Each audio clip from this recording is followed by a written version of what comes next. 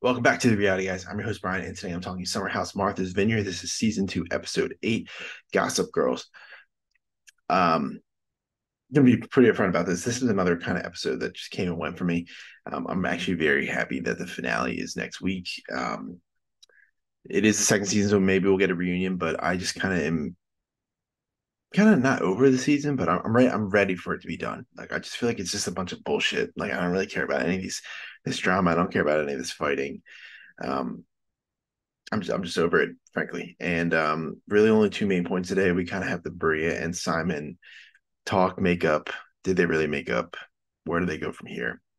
And um, we Nick being handsy rehashes again with three new girls in the house. So nothing crazy to me. Um, obviously, the handsy stuff is is not good, but I'm just we've already talked about the season, so I don't really care about it that much. Um, Bria and Simon. So she basically we pick right back up where they they were yelling at each other at the end of the party. Um, and Bria's like packs up all stuff, and he's like, "You need to get out." Um, she feels disrespected, disrespected, disrespected. Um, uh, Bria um, and Amir talk, and she's kind of let him know like how she feels about the whole situation. Um, he Simon comes down, he kind of is like somewhat of a mediator. You think that they're going to go squash the beef right there, and as soon as he leaves, they it goes absolutely just goes south again.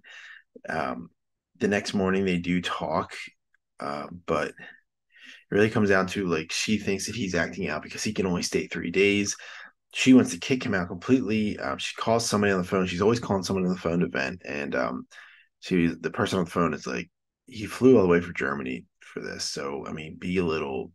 You don't need to kick him completely out, and maybe just just let it ride for the last two days. Um, and then other things come up. How she felt um, when they were in Germany. She was dealing with racism and um, she felt uncomfortable at some of his his events and says like look if you were you never act like that at any of your things um obviously if that's the case that's obviously not a good thing you don't want to deal with it he she says like since you're white you're blind to the racism um which is probably true um I just don't know. We we we weren't there. I, I don't know. Um, obviously, uh, if it's true, then yeah, definitely don't want to deal with that. Like she, he was talking about how she was like she always gets in. She deals with drama like head on. She like talks about it, gets in people's faces, says what she needs to say. Um, he's doesn't like that. Again, I, I just I'm, this relationship doesn't make any sense to me. Honestly, like they live on different continents. It's not going to work. So I don't know why why we keep fooling ourselves. Every time they're fighting all the time, I don't know why they're together. Um, the a lot of the cast does bike ride through the vineyard.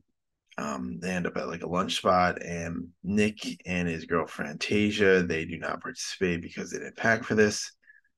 Um, Natalie pulls Tasia to talk because earlier that morning, her, Bria, Shanice, and Noelle were talking about Nick being handsy again and all this stuff. And Natalie is friends with Tasia, so she wants to like let her know, like give her a heads up, like what's going on.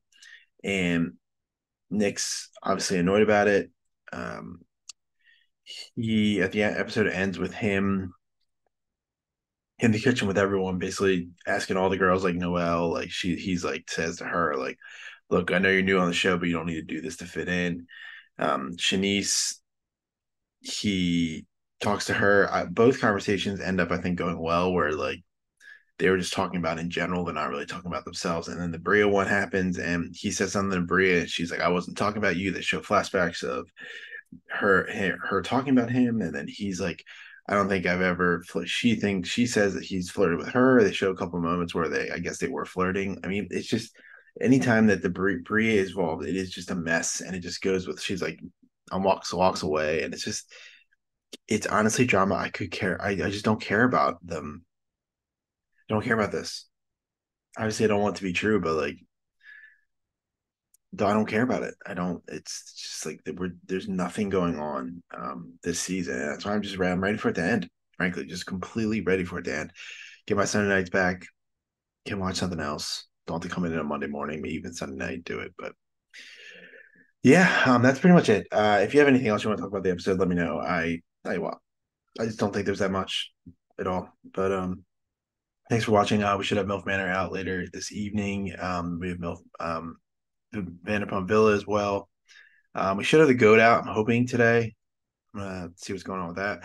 Um, and we just have the start to our week again. So uh, Amazing Race finale is this week, so we're excited about that. Um, Vanderpump Vanderpump reunion starts tomorrow as well, and um, the Valley is got to be wrapping up soon, uh, probably on the same timeline as um, Vanderpump Rules. So we'll see.